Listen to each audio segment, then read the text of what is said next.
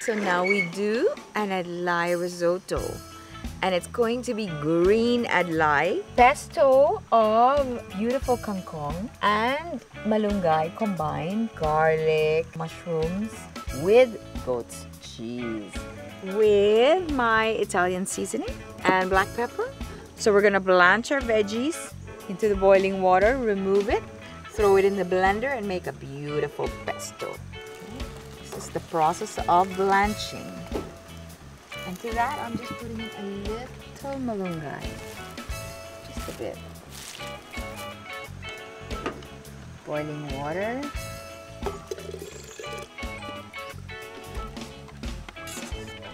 We're using the classic.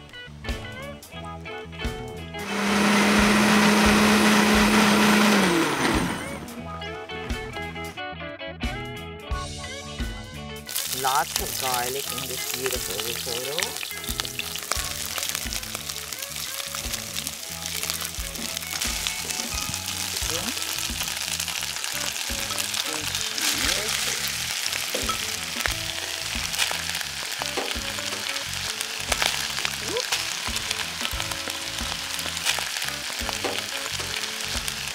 That beautiful stuff comes in. Look how green that is.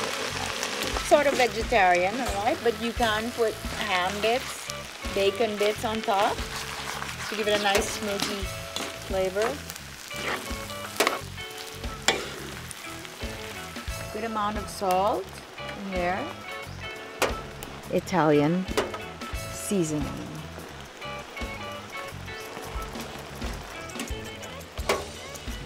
just a bit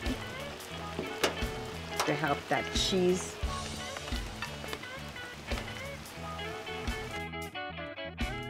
So there you have it, an adlai risotto ready for eating. Beautiful goat's cheese, adlai, lots and lots of garlic, of course. My basil, um, Italian seasoning, black pepper in there, and we are good to go. Sabrina's Kitchen, what you waiting for? Sabrina's Kitchen, cooking up a song.